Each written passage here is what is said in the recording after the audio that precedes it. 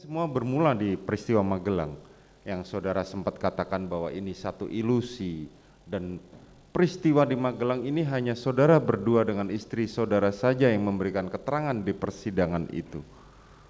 Sehingga tetapi akibat peristiwa itu dampaknya luar biasa buat tubuh kepolisian di mana tadi saya terangkan dari skenario awal banyak sekali orang-orang yang tadi saudara sampaikan bahwa mereka tidak tahu dan mereka tidak bersalah sehingga harus menanggung akibatnya.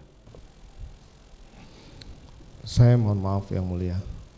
Saya juga tidak mungkinlah mengarang cerita bahwa istri saya ini diperkosa.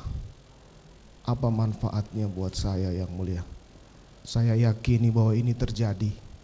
Sehingga kemudian sekali lagi saya mohon maaf yang mulia Ya saya harus melakukan ini karena sudah terjadi penembakan.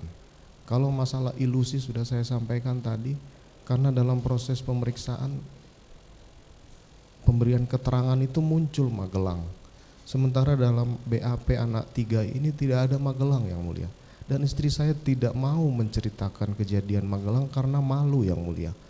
Mana ada sih istri mau menceritakan seperti itu yang mulia. Ini salah saya yang mulia.